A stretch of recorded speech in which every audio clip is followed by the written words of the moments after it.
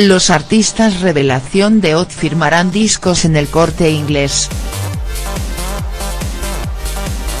El corte inglés de San José de Valderas en Madrid acogerá este sábado, 10 de marzo, la primera firma de Amaya y Alfred juntos, que serán los cantantes que representen a España en Eurovisión 2018. A partir de las 1700 horas, en la zona exterior del centro situado en la localidad madrileña de Alcorcón, los artistas del programa de moda de la televisión en España atenderán a sus fans y firmarán discos. Se podrá seguir la firma de mañana a través del hashtag almohadilla almayanc. La compañía ha organizado hasta finales de marzo siete firmas más en diferentes centros de El Corte Inglés de toda España. El efecto Odd moviliza en cada encuentro con sus fans a más de 4.000 personas a las que no les detiene ni la lluvia con tal de hacerse una foto con sus artistas favoritos.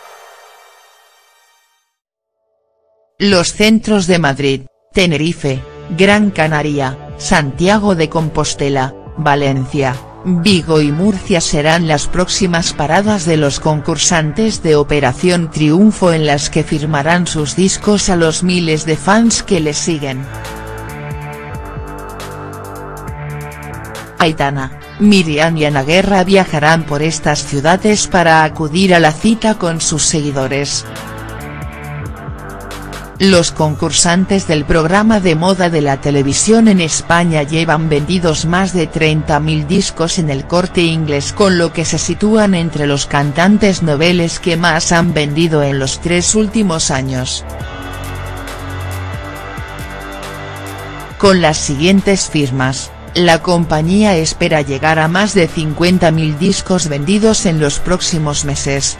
Amaya y Alfred serán además los representantes de Eurovisión 2018 con la balada Tu canción.